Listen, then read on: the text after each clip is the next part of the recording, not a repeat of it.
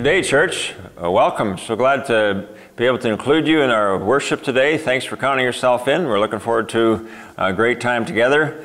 Uh, I know it's been some very difficult days uh, for us, and uh, uh, our thoughts and prayers are with you. I know right at the beginning of COVID, I remember asking this question over and over. You might well have asked it too. God, what are you trying to teach me? What are you trying to say? And it seemed like the answer kept on coming. I just want you to know me. I want you to draw near to me. I want you to just trust me and experience me in new ways. I've been reminded actually of C.S. Lewis's quote in this regard. He says, God whispers to us in our pleasures, He speaks to us in our consciences, but He shouts to us in our pains.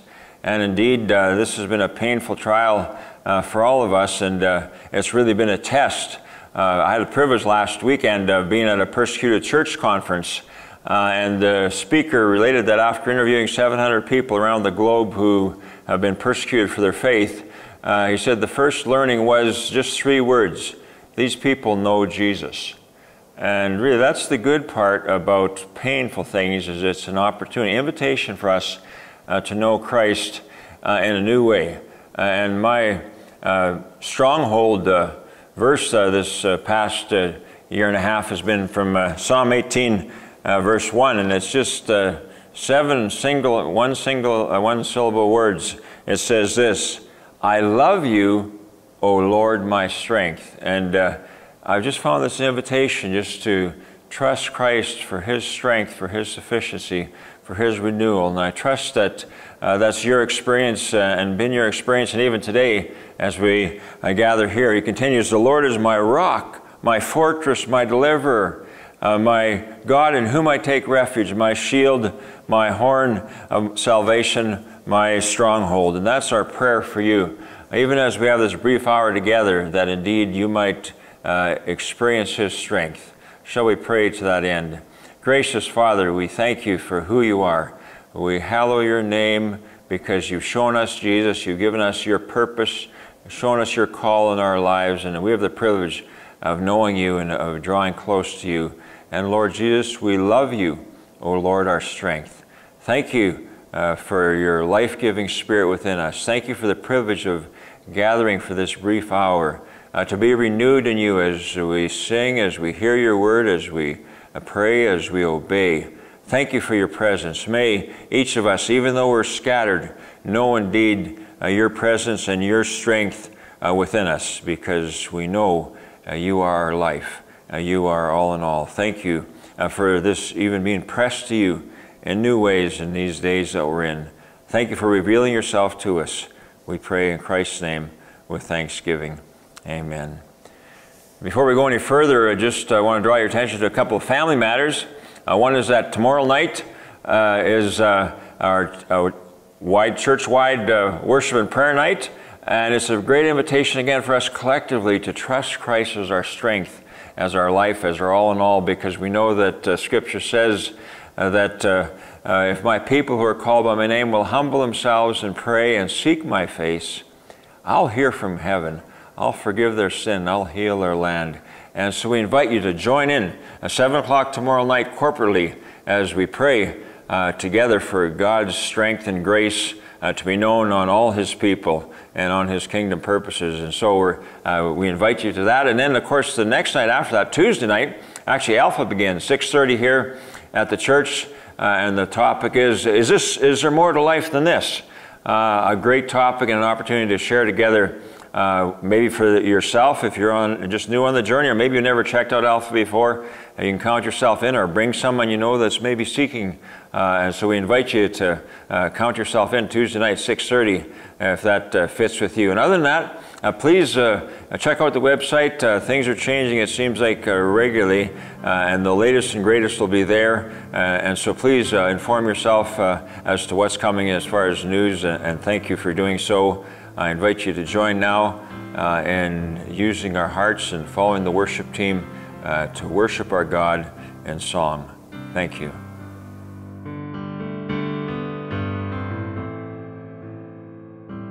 You are here, moving in our midst. I worship you.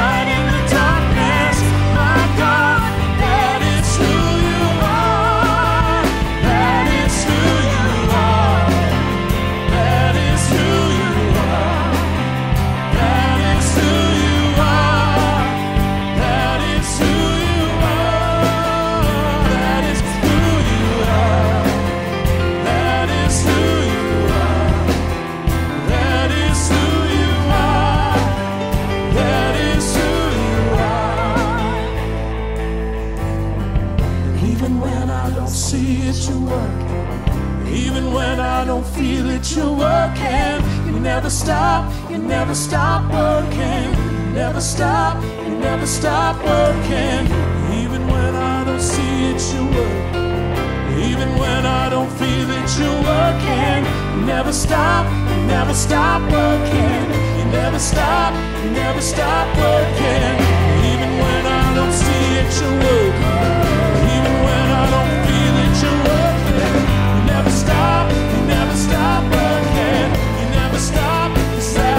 say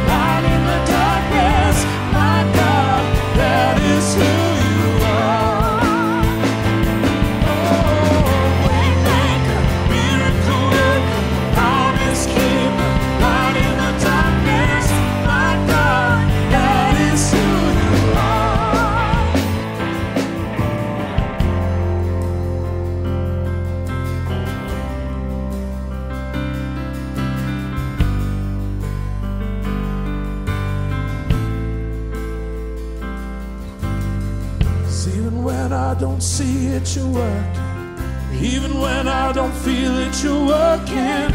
Never stop, you never stop working. Never stop, you never stop working. Even when I don't see it, you're working. Even when I don't feel it, you're working. Never stop, never stop working. Never stop, cause that is who you are.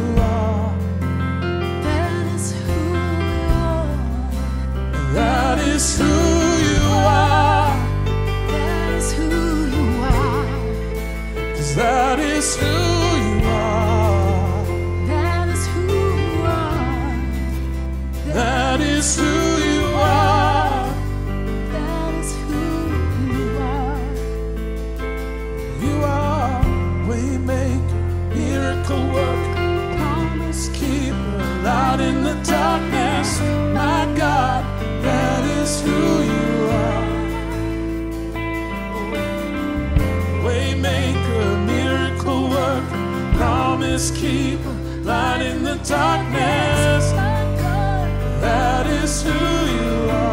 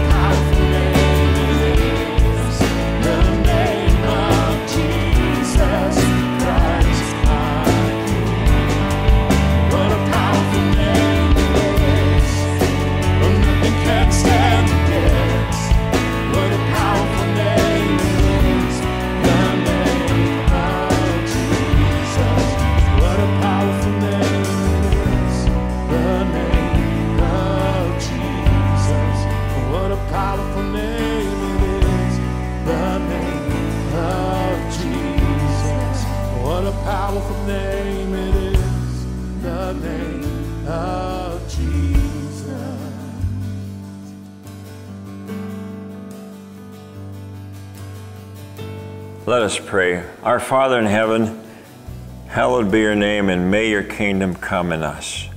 Thank you for wooing us to you. Thank you for drawing us to you. Thank you that even the new challenges that we face uh, daily and weekly, uh, you invite us to be transformed by a fresh experience of you, Lord Jesus, and your Spirit within you, us. Thank you, Holy Spirit, for your fruit of love and joy and peace within us.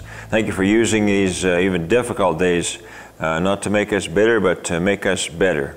We thank you, God, that you don't change and that your love for us doesn't change no matter what our circumstances are. And so uh, we humble ourselves before you and we love you, O Lord, our strength, our life, our all in all.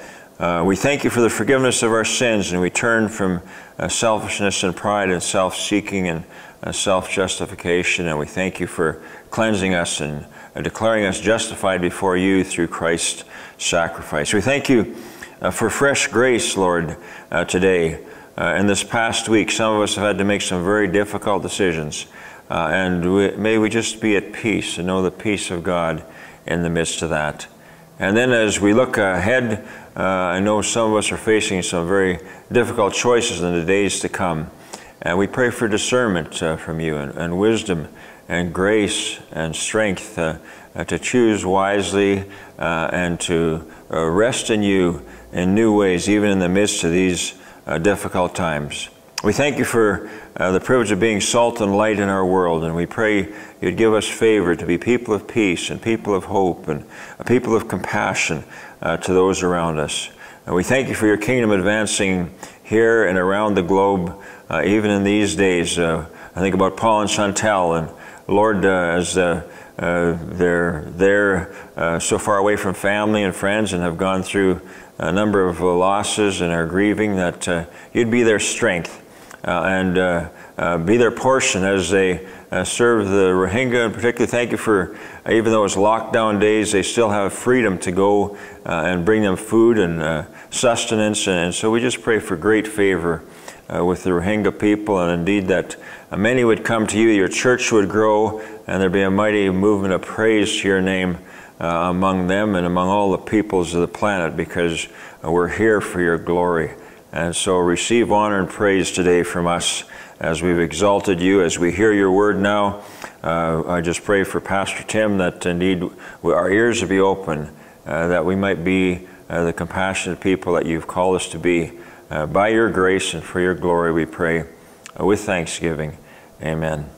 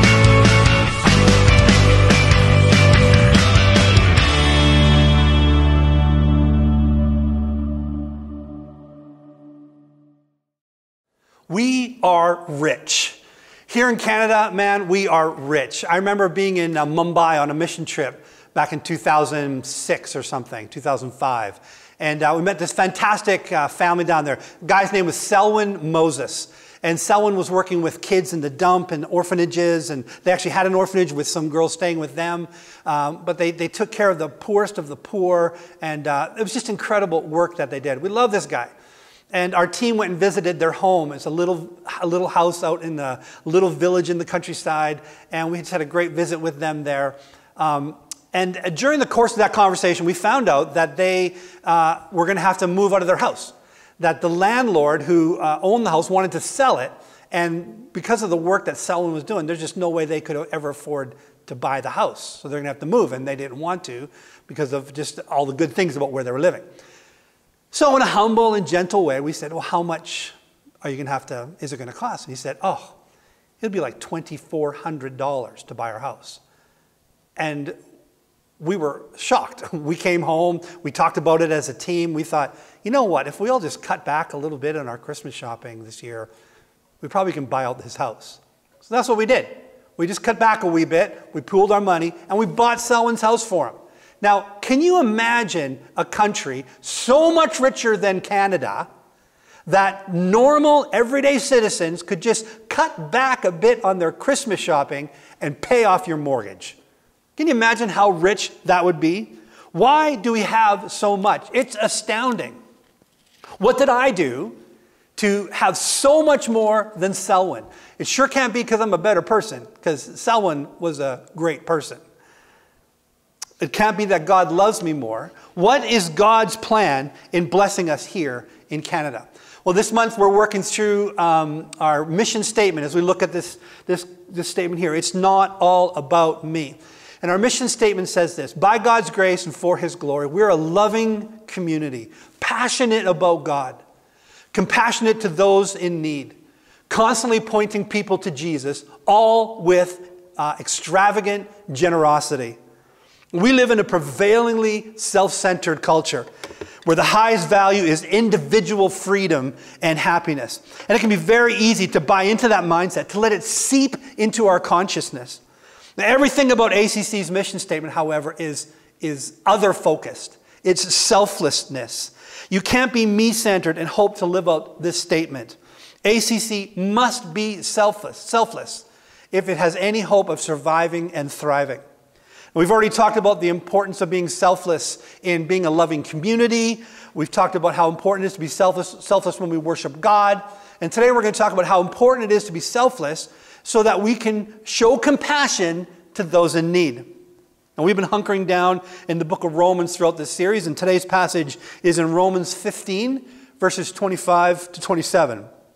So if you have your Bibles, turn to that now and uh, read along with me. It starts in verse 25 of chapter 15. It says this Paul says, Now, however, uh, this is near the end of his letter, so it's kind of some closing remarks, whatever he's saying. So he goes this Now, however, I'm on my way to Jerusalem in the service of the Lord's people there.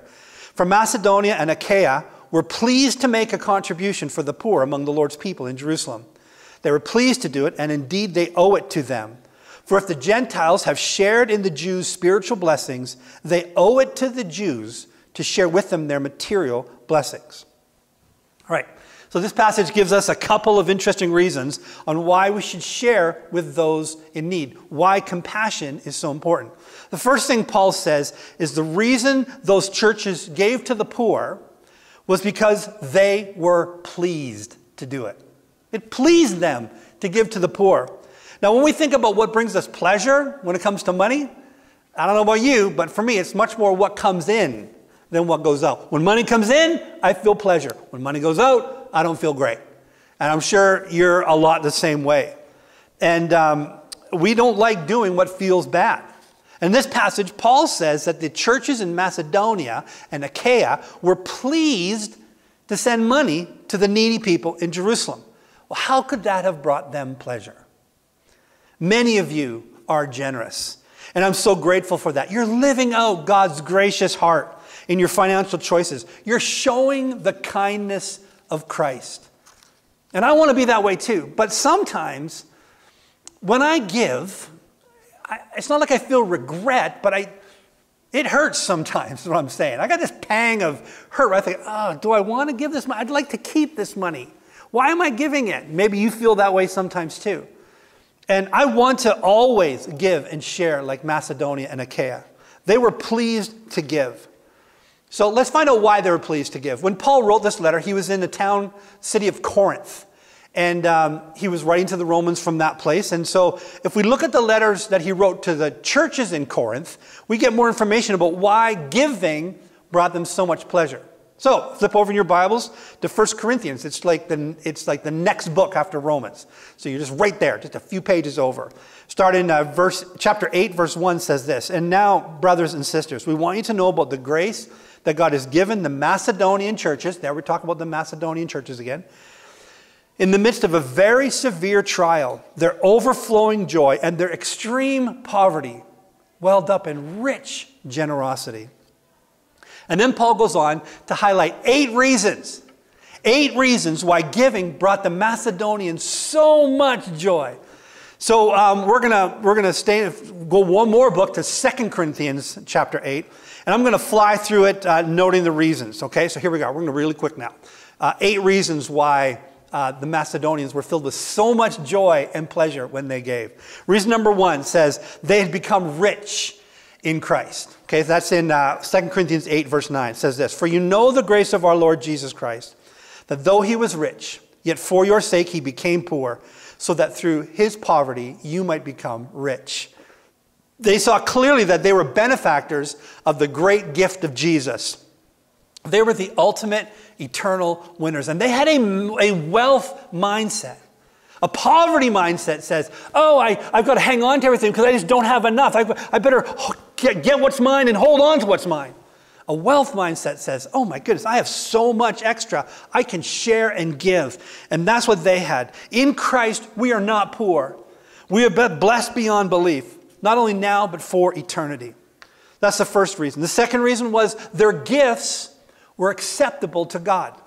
In verse 12 says, For if the willingness is there, the gift is acceptable according to what one has, not according to what one does not have. It didn't matter how big their gift was, what mattered was how big their hearts were. And if the gifts were given willingly, then they were acceptable to God. And we don't we love doing things that are acceptable? I love I love when I do something that makes Jennifer happy. You know? It just brings me joy to bring her joy. And when we give joyfully and willingly, we bring God joy. Our gifts are acceptable. The third one, third reason is found in verse 14. What goes around comes around says this At the present time, your plenty will supply what they need, so that in turn, their plenty will supply what you need.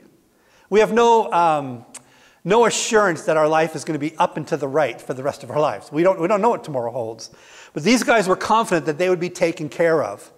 They were freed up of their dependency on the cash in hand because they knew that God would take care of them. And if, if, if uh, things went south for them because they had been given at some point in the future, um, someone would be kind to them in return. Now, this isn't karma, this is Christian community. This is how God set things up.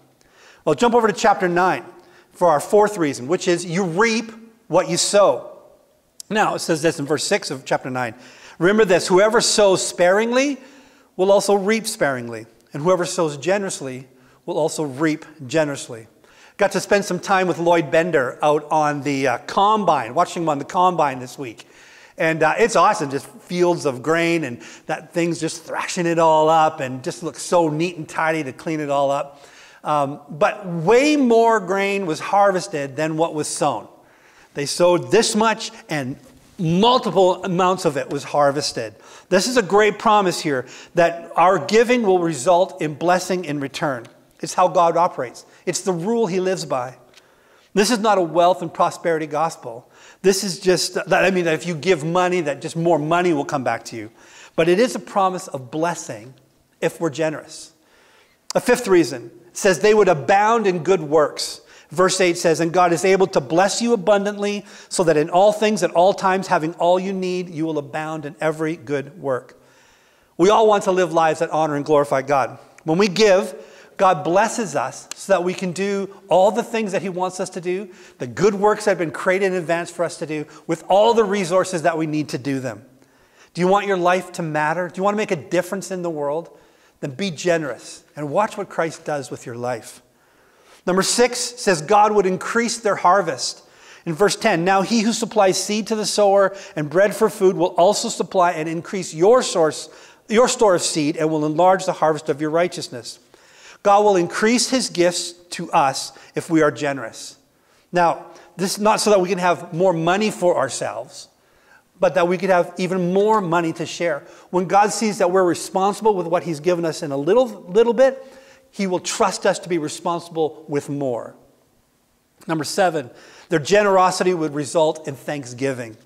Verse 11 says, You'll be rich, enriched in every way so that you can be generous on every occasion.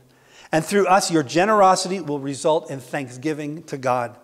People will be thankful when we give. It feels great to be thanked. Even though all that we have comes from God, when we share, we get blessed with thanksgiving. And the last reason it says others would be praying for them. Verse 13 and 14 says this Because of the service by which you have proved yourselves, others will praise God for the obedience that, that accompanies your confession of the gospel of Christ, and for your generosity in sharing with them and with everyone else. And in their prayers for you, their hearts will go out to you because of the surpassing grace God has given you. When we give, the people we give those gifts to will remember us before God. I don't know about you, man, but I need lots of prayer in my life. And to have people that are, are praying for me, that are for me, that are leaning into me, oh man, it is a, it is a good deal. And for these reasons, these eight reasons, giving was a no brainer for the churches in Macedonia and Achaia. The benefits they received were so much greater than the cost. They knew that giving was smart business. First, we need to understand how deep, uh, how true this is in our hearts. When we show compassion to those in need, we become recipients of way more than we ever give out. The more we understand this, the more pleasure we will find in giving. Well, there's another reason, though, for why the churches gave. This one is quite interesting and one that I don't think of, we don't think of very much. Paul said they gave because they were obligated. The churches gave to the poor Jews in Jerusalem uh, because they owed it to them. Now, what does that mean? Had they borrowed money from these poor Jews and now they're paying it back? Had they taken something from them in the past and now they're trying to make amends for that bad thing? Had they agreed on some kind of deal that they were supposed to, uh, you know, now they're coming true on, coming re- um, good on, making good on? No, the passage clearly says that they, because they shared in the Jews' spiritual blessings, they owed it to them to share in their material blessings. What does it mean that they shared in the Jews' spiritual blessings? Well, way back in Genesis 12, you know, about 2000 BC, God um, uh, made a covenant with a man named Abraham. God wanted, had a plan to save the whole world through Jesus Christ, and so he began with someone who would be an ancestor to Jesus. From this one man, Abraham, came a, a family of descendants who are the Jewish race. And Mary was part of that, and Mary gave birth to Jesus, which makes Jesus, by nationality, a Jew, a descendant of Abraham. The covenant that with Abraham was that God would make him a blessing in order that he could bless the whole world. And that is what happened in Christ. For this reason, the Jewish people have a prominent place in our Christian history. Paul himself was a Jew. He understood the mystery when Jesus came, that he would unite the Jews and Gentiles. Here's what it says in Ephesians 2 For he himself is our peace, who has made the two groups one and has destroyed the barrier, the dividing wall of hostility, by setting aside in his flesh the law with its commands and promises and, and regulations. His purpose was to create in himself one new humanity out of the two, thus making peace, and in one body to reconcile both of them to God through the cross by which he put to death their hostility. The Gentile churches in Macedonia and Achaia knew that their hope of salvation came through Jesus alone. Salvation came through the Jews, beginning with Abraham and concluding in Christ. Without salvation, all the money in the world is absolutely and ultimately useless. They knew then, as we do now, that you can't take it with you. This is what Solomon said Naked a man comes from his mother's womb. As he comes, so he departs, and he takes nothing from his labor that he can carry in his hands. For them, the joy and the riches they received in Jesus far outweighed what they could ever receive in material possessions. It made perfect sense to help out financially where they could. They knew that everything that mattered in their lives, that really mattered, came through Jesus Christ, who was a Jew, who was a descendant of Abraham. So they were obligated to the Jews. They had benefited from their spiritual blessings, and so it seemed right that they should share with them their physical blessings. Okay, so what does that have to do with us? Well, how are we indebted to the person who is down on their luck in community? What do I owe? What do I owe the homeless youth in Sylvan Lake? Why should I be concerned about a woman fleeing domestically violent situation How am I indebted to the lonely person who has no one to turn to when things get difficult? Why do I owe them something? Well, every person is created by God. Uh, he loves them, they are His possession. It is true that many have defied God and turned away from Him, but that does not change the fact that He loves them and cares for them deeply. He wants them to experience hope and wholeness, life and joy.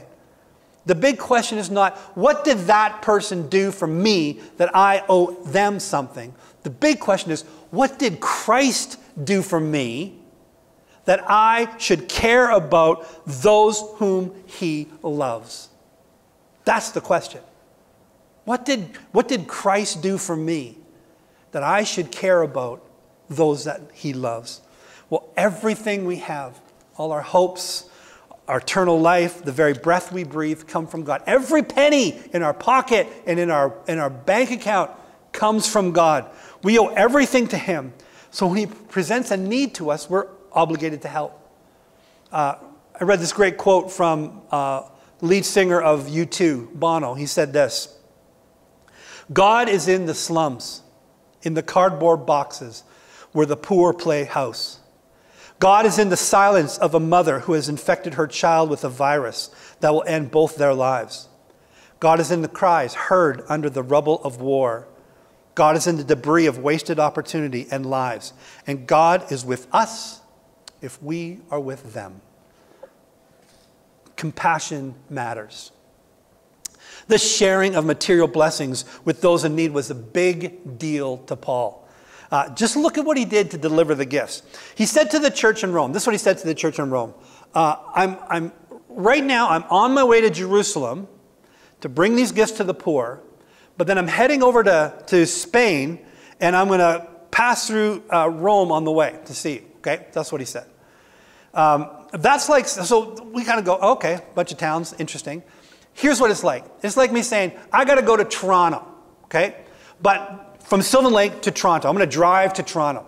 But just before they do this, I'm going to do a small detour to Portland. And then I'm going to go back to Toronto, passing through Saskatchewan. Um, that would be a major backtrack. That would be a totally inefficient uh, travel plan. Because Paul was in Corinth at the time. A trip to Jerusalem meant 3,000 kilometers of extra travel time.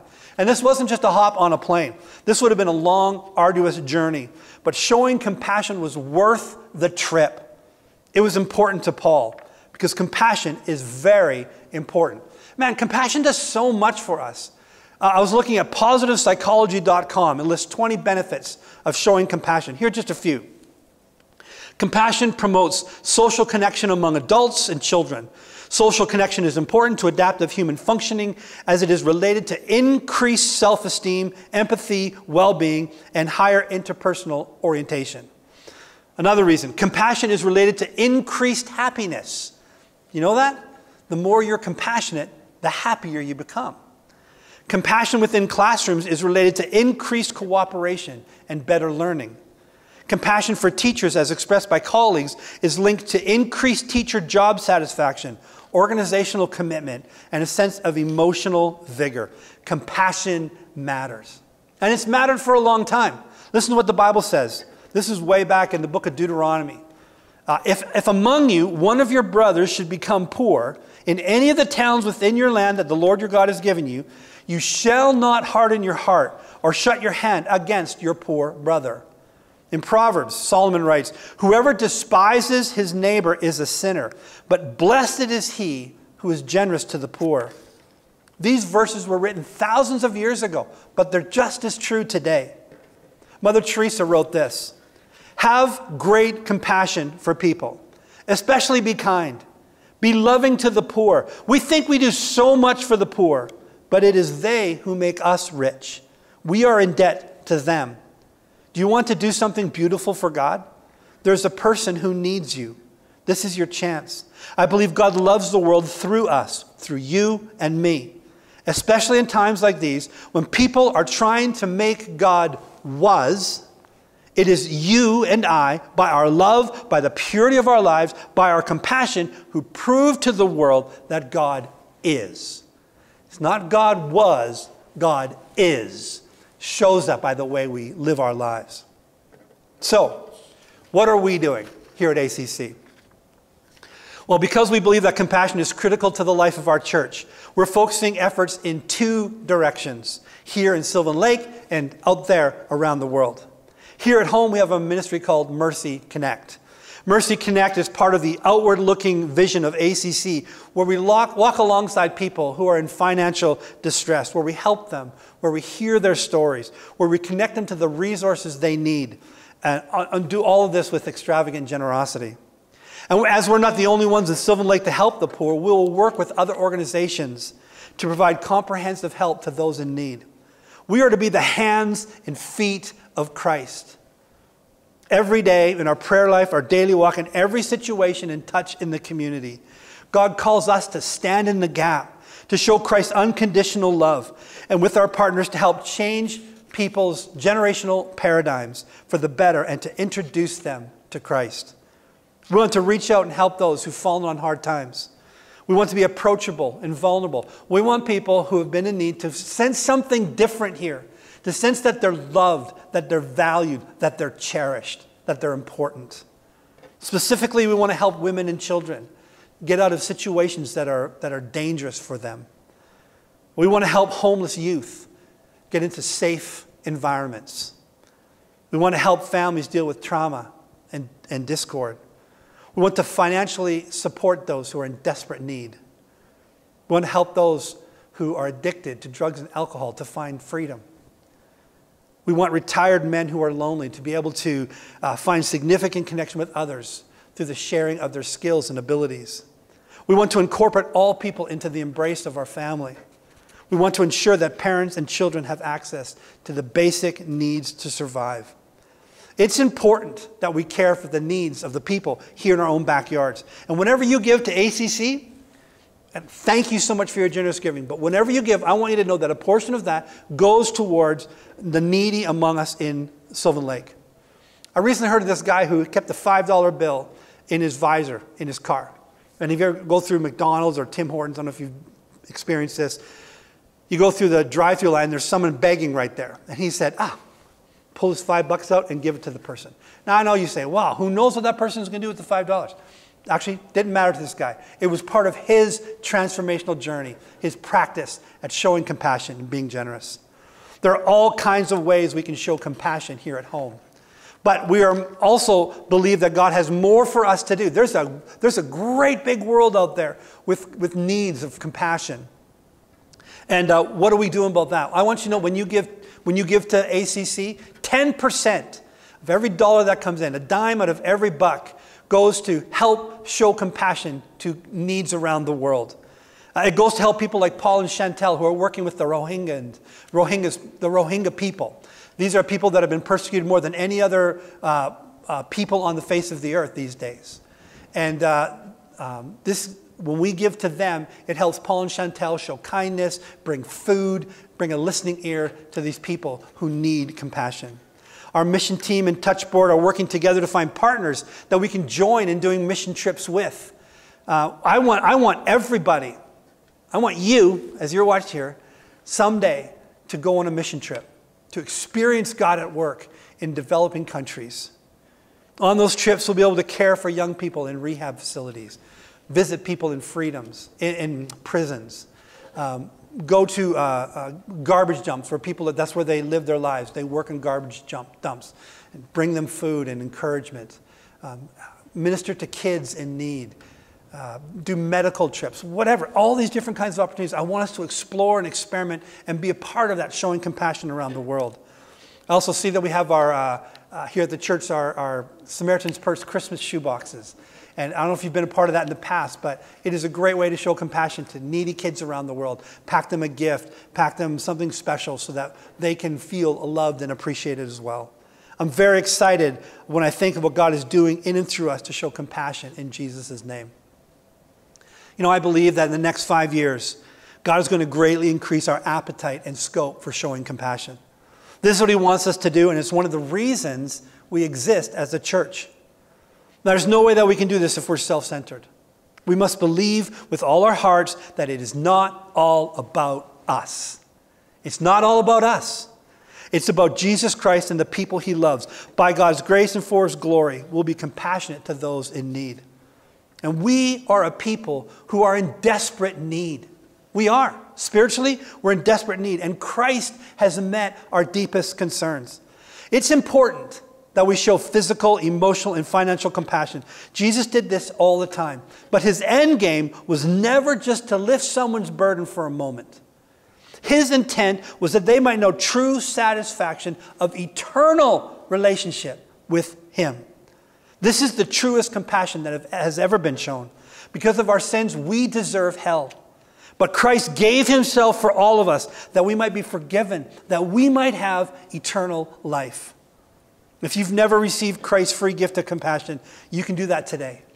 Repent of your sins, accept his forgiveness, and invite him to be the Lord and the Savior of your life.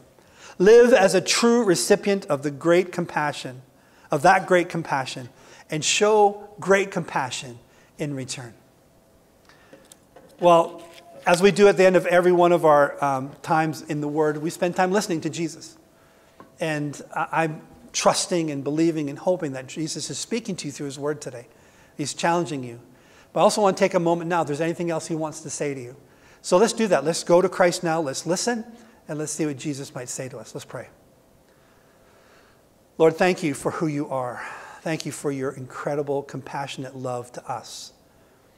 We are rich beyond belief and we want to be compassionate in return. Jesus, you are the great example, the great model of what compassion is. And if there's anything, you are perfect at it. And if there's anything you want to say to us who are imperfect, who are learning how to do this, then we want to hear from you. We want to take our cues from you, our coaching from you. And so, Jesus, we want to listen. And so, as we sit in our house or maybe are listening on a podcast in our car, whatever, Lord, we want to listen to you. So speak to us now, Lord.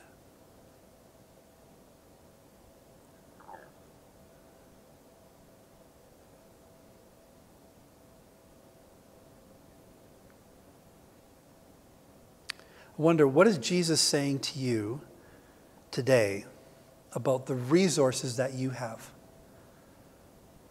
Maybe you haven't been as thankful as you could be.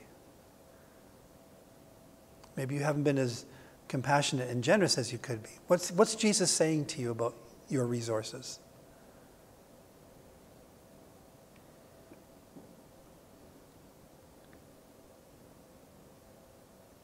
And as you've been listening today, is there, is there someone that Jesus is laying on your heart? Someone that you could show compassion to?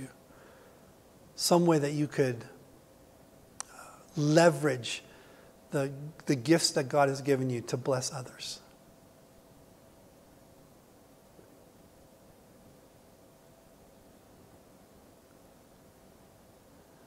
Lord, I thank you for, for each one that's tuning in today. Each one that's carving time out of, their, out of their busy schedule because they want to connect with you. They want to experience you. They want to be more like you. And so, Jesus, I pray that you would stir that up in their hearts uh, stir up uh, a willingness to be generous, a willingness to show compassion, and uh, use them, Lord, to bless many people.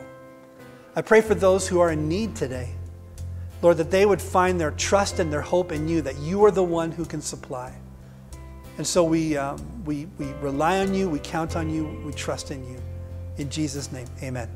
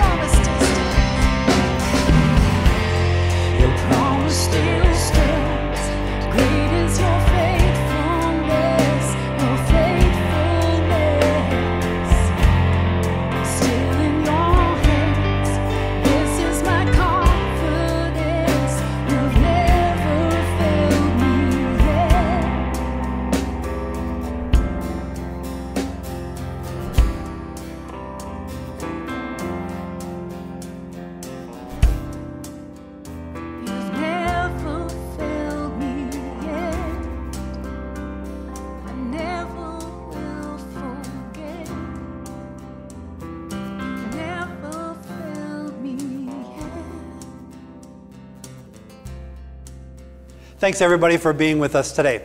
Uh, I know you are seeking after the Lord. You're curious. You're hungry. You want more of God. That's why you're tuning in right now. That's why you're carving this hour out, because you want to know God better.